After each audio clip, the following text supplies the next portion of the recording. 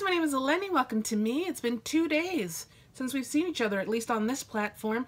And even though it's been miserable and I've been going through withdrawal, somehow the world kept turning and going on, which is weird because everything revolves around us. You know what I'm talking about. This little thing I do is called Let's Not Talk Politics, where we talk about anything and everything that is not politics because, oh my god, it is everywhere. Let's take a break. So you can subscribe and turn on notifications, and if you're feeling extra frisky, use your big beautiful brain and leave me a comment. Today I have great news. Scientists have said the five second rule for food dropping on the ground is an actual thing. You know when things are actual things, but you can't explain that they're things, but you know that they're things? Science says, you there? It's a thing. Like I am a reasonably intelligent person, I can comprehend a lot of things. But I don't science, but I respect science, even though science and I, we're just not compatible, um, but it's not personal, and it's not science, and it's definitely not me. You know what I mean, though. Also, I kind of thought the five second rule was a three second rule, like one, two, three, oh, it's still good. But five seconds is okay. I'm comfortable with that. But I'm assuming that everybody is exactly like me and you all have Greek parents too, so that when you were a kid and something dropped on the floor, like in your house, not in public, they would be, you'd be like, oh my God, and they'd be like, just, it's fine, eat it.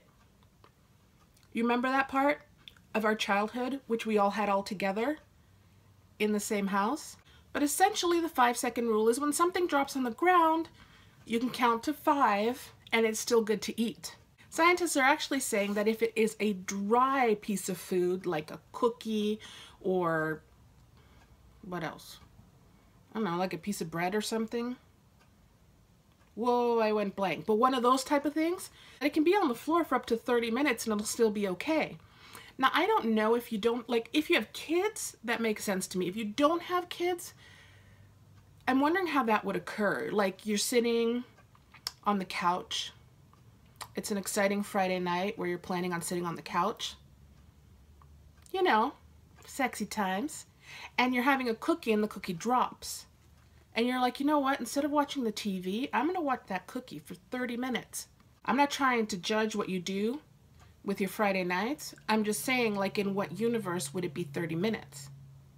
And if you dropped it, but you didn't know you dropped it, how do you know it's been 30 minutes? Like, who is timing this, I guess? Is my question.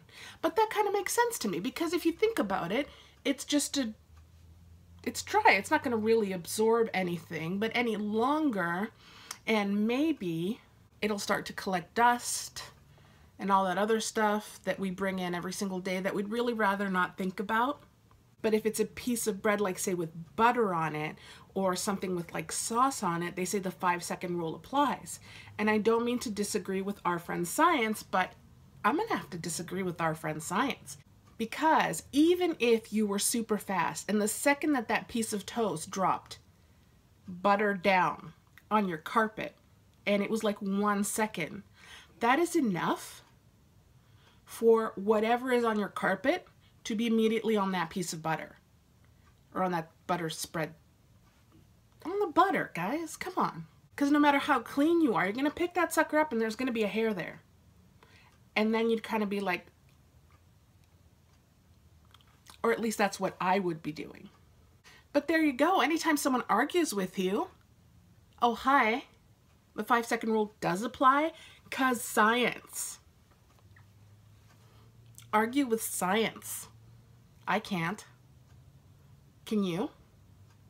Do you guys grow up with that little five second, three second rule? Did your parents keep food away from you if it dropped on the floor? Thank you very much always for watching. Please take care of yourself so you can take care of each other and I will see you very soon.